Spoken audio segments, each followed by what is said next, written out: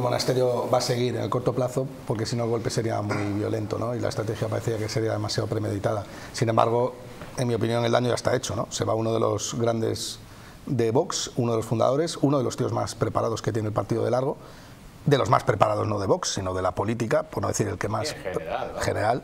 Además una persona, como bien ha dicho el compañero, eh, que tiene muchas salidas, muchísimas más salidas en el sector privado que en el sector público, con lo cual eso le confería un carácter más, eh, digamos, más voluntario a la hora de participar en la política, no como bien dice el compañero, necesita agarrarse a la política porque necesita un salario y fuera del sector privado no tiene recolocación, ¿no?